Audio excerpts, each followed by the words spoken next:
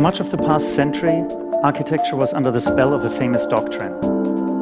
Form follows function had become modernity's ambitious manifesto and detrimental straitjacket, as it liberated architecture from the decorative, but condemned it to utilitarian rigor and restrained purpose. Of course, architecture is about function, but I want to remember a rewriting of this phrase by Bernard Tschumi, and I want to propose a completely different quality. If form follows fiction, we could think of architecture and buildings as a space of stories. Stories of the people that live there, of the people that work in these buildings. And we could start to imagine the experiences our buildings create.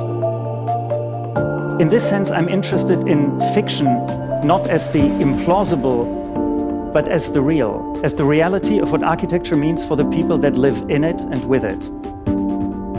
Our buildings are prototypes, ideas for how the space of living or how the space of working could be different, and how a space of culture or a space of media could look like today. Our buildings are real, they're being built, they're an explicit engagement in physical reality and conceptual possibility. I think of our architecture as organizational structures. At their core is indeed structural thinking, like a system. How can we arrange things in both a functional and experiential way? How can we create structures that generate a series of relationships and narratives? And how can fictive stories of the inhabitants and users of our buildings script the architecture?